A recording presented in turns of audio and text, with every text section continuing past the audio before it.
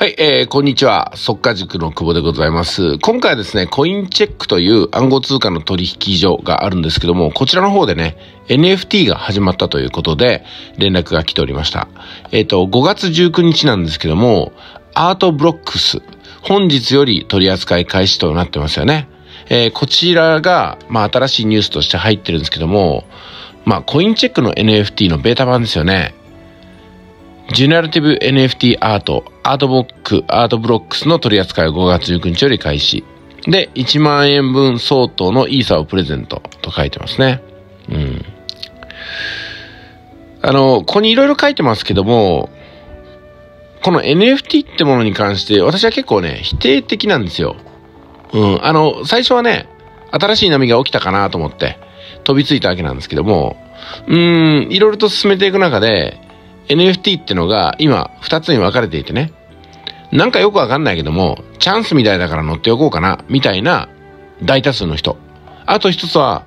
NFT 自体は全くマーケットに意味をなさない可能性があるけども、NFT による情報発信や NFT によって集客した人に商品を売るっていう風なところに目をつけて、一部の人が、それこそね、この暗号通貨とか情報発信に長けてる人が関連商品を販売していくみたいな感じです。で、ここにもありますけども、NFT に参加した人には1万円分のイーサをプレゼントってあるでしょ？じゃあこういうことがあるってことは、この発信をする人にはそれ以上の旨味があるっていうふうに、まあこれ昔から同じような考え方ですよね。なんでね、何かを購入したらプレゼントがあるのか。それはプレゼントした人にそれ以上の利益があるから。だから、お返しをしてるんですよね。そのお返しを、まあ、蒔絵にして、もっと大きな利益を得ようとしているっていうところなんですよ。まあ、これがね、非常に上手なところであって、まあ、ビジネスの心理なんですよね。ですので、私はね、何でもかんでも飛びつくよりも、それ多少はね、万が一のために資金をちょっとだけ置いとくのはいいと思いますけども、結局はビジネスを仕掛けてる方なのか、仕掛けられてる方なのかってことに、仕掛けられてる方は気づいていないんですよ。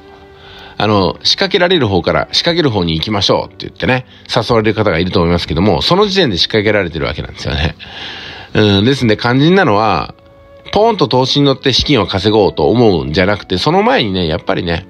自分で集客して、自分で商品設定して、そして自分でセールスができるっていう風な、投資の前の段階のビジネスってものを、まあちょっと練習しておくっていうかね、少なくともそこを固めておくことかなと思うんですよね。えー、もちろん、投資にいきなり行くことを悪いと思ってるわけではないんですけども、その投資に関する今回 NFT ですけども、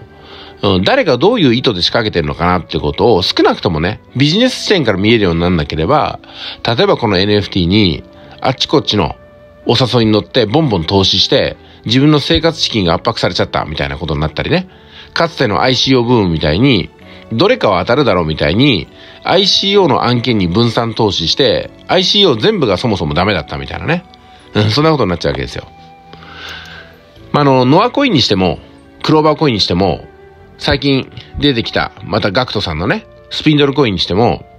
結局はよくわかってない人が、なんか知んないけど乗ってみた、みたいな感じでしょ？で、エクシアってのも最近ありましたけども、あれも結局、FX のこと全く分かってない人ばかりが FX で運用して儲けてるんだみたいに信じて参加してるんですけども、当時から FX で利益を上げてる私からするとね、まあこういうのだけはないなと思ってるわけなんですよ。で、かなりのトップグループから私も当然影響力ありますんでね、誘われたわけなんですよ、当時もね。何度も誘われましたけども、いや、私はこれで FX が勝てると思わないし、FX 以外の投資も多分されるんでしょうけども、うん、自分一人で動きたいですってことでお断りしたんですよね。で、あとはね、うん、まあちょっと、エクシャのことになっちゃいますけども、まあ誰かに任せて FX で利益を上げるみたいなことをしちゃうと、私自身の FX が本当に効果が出てるのかどうかってことを信頼されなくなっちゃうというふうな考え方もあるんですよ。ですんで、別にそういうのがなくても、一人で FX で利益を上げてる私からするとね、いや別に仲間にならなくても大丈夫だよ、みたいな形なんですよ。ですんで、ツールとかシステムとかも全然いらないし、まあ、暗号通貨もね、基本的には自分の裁量で参加して、で、裁量で、えー、エグジットする。で、十分なんで、まあ、こういった NFT みたいな概念に私も飛びつくことはないかなと。逆に NFT に行かないと利益が得れないってことは他で利益が得れてないっていうふうに考えることもできるんですよね。他にもしっかりと自分で固めてきたビジネスや資金の素地があれば、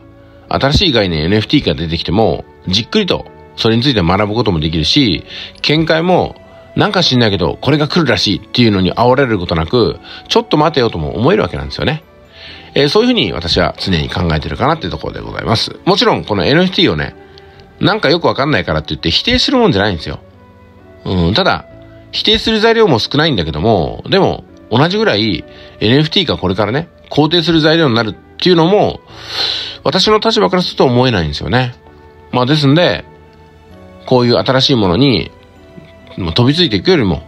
今までの自分の力をさらに固めていく方に重きを置こうかなと思ってます。NFT を無視してるわけではありませんけどもね、えー、これまで以上に NFT については理解を深めようと思ってますけども、理解を深めれば深めるほど、私ごときが扱えるものではないかなっていうふうに謙虚に思ってるってことでございます。ただ、今回はコインチェックからこうやってね、NFT についてリリースがありましたんで、私も動画を撮らせてもらいながら、あの、まあ、ごく中立的なね、意見をちょっとお話しさせてもらいました。それでは以上です。